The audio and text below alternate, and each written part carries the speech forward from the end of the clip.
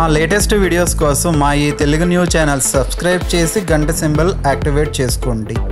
శుభకృత నామ సంవత్సరం. ఉగాది రోజు నుండి ఈ నాలుగు రాసుల వారికి పట్టిందల్లా బంగారం అవుతుంది. ఈ రాసుల వారు అపర కుబేరులు కాబోతూ ఉన్నారు. ఈ రాసుల వారికి బలం బలగం రెండూ కూడా ఈ ఉగాది రోజు నుండి పెరుగుతాయి. కొంతమంది నాకు ఎవ్వరూ లేరు నా జీవితం ఇంతే అని బాధపడుతూ ఉంటారు. అటువంటి వారికి ఉగాది నుండి పట్టిందల్లా బంగారం అవుతుంది. మరి ఏ రాసుల వారికి అదృష్టం కలిసి వస్తుందో తెలుసుకునే ముందు ఉగాది ప్రాముఖ్యత గురించి ఇప్పుడు మనం తెలుసుకుందాం.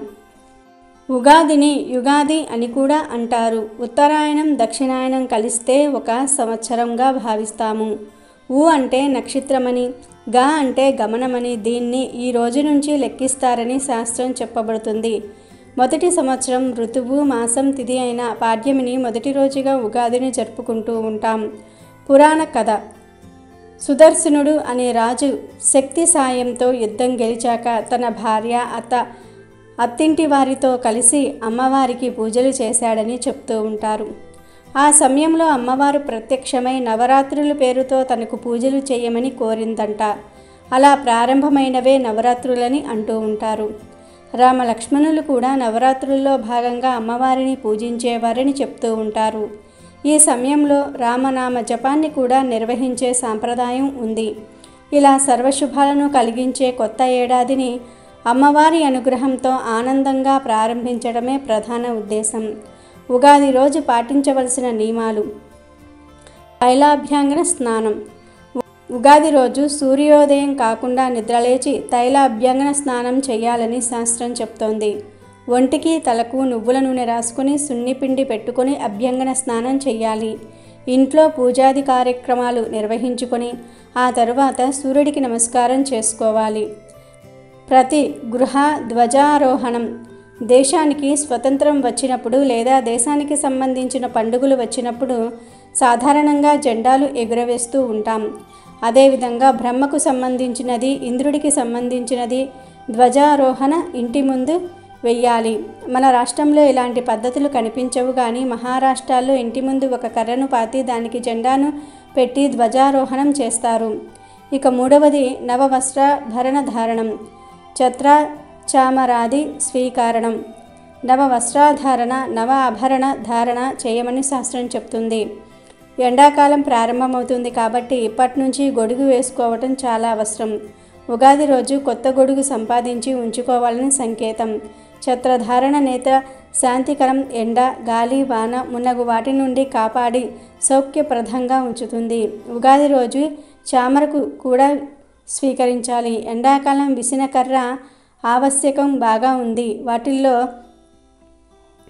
విట్టివేలలతో చేసినవి వెదురుతో చేసినవి తాటాకులతో చేసినవి శ్రేష్టమైనవి. వా- వాటితో విసురుకోవటం వలన మేహ శాంతి కలుగుతుంది. నేత్రాలకు చల్లదనంగా ఉంటుంది. ఛత్ర చామరాలను ఈ ఎండాకాలంలో దానం చేయటం వలన కూడా విశేషమైన ఫలితం ఉంటుంది. ఉగాది రోజు విఘ్నేశ్వరిని నవగ్రహాలను బ్రహ్మాది దేవతలను పూజించాలని కొన్ని గ్రంథాలు చెప్తూ ఉన్నాయి. ఉగాది రోజు ఉదయాన్నే దేవుని దగ్గర పంచాంగాన్ని ఉంచి పూజించుకోవాలి. ప్రతి ఇంటిలో ఆ సంవత్సరం పంచాంగం ఉండాలి. పంచాంగం ఆ సంవత్సరంలో మనం చేయవలసిన కార్యక్రమాలకు అనువైన వాటిని చూపించే కరదీపికగా చెప్తూ ఉంటారు. అందుకని పంచాంగానికి పూజ చేసి మధ్యాహ్న సమయంలో నూతన వస్త్రాలు కట్టుకుని బ్రాహ్మణ ముఖంగా లేదా జ్యోతిష్యుల ముఖంగా ఈ పంచాంగాన్ని వినాలి. అలా వింటాం కాబట్టే పంచాంగ శ్రవణం అని పేరు. పంచాంగ శ్రవణం వలన గంగా స్నానం చేసిన ఫలితం గోదానం చేసిన ఫలితం లభిస్తుంది. శత్రువులు దూరం అవుతారు దుస్వప్న నాశనం అవుతుంది. సంతానం సంపత్తు కలుగుతుంది.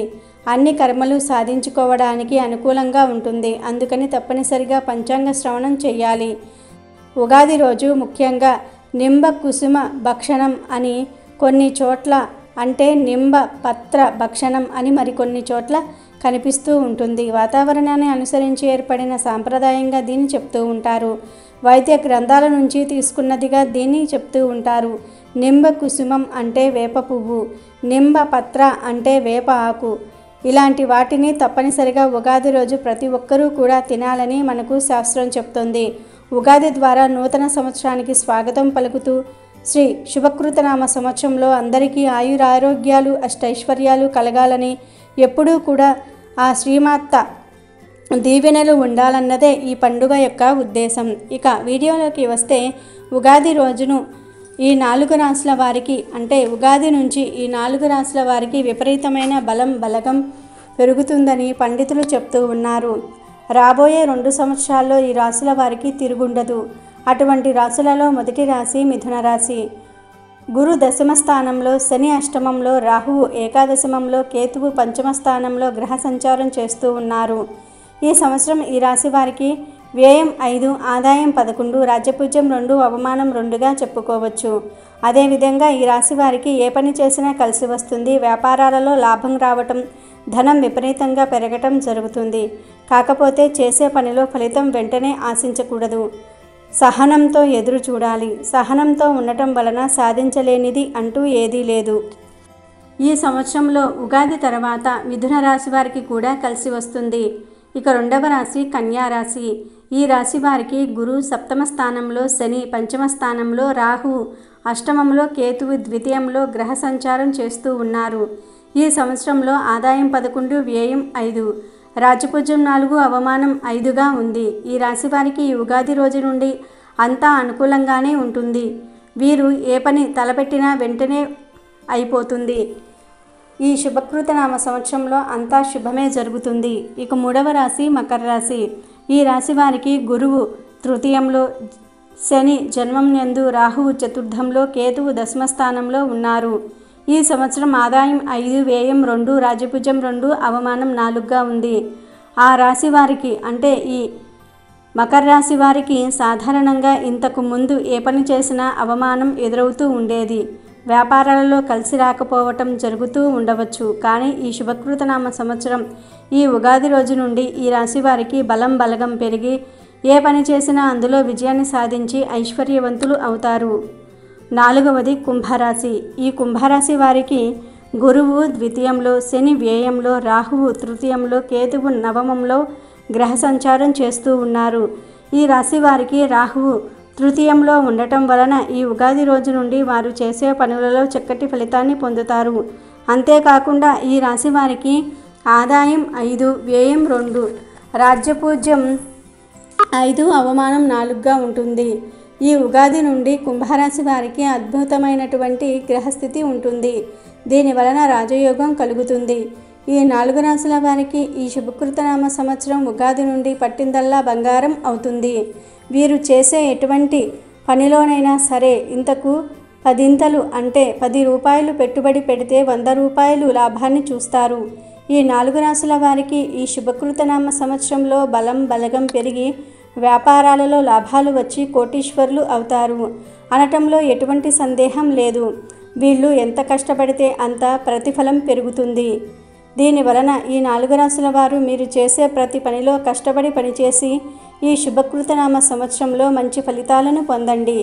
వీడియో నచ్చితే లైక్ చేయండి షేర్ చేయండి. బట్ సబ్స్క్రైబ్ చేసుకోవడం మర్చిపోవద్దు.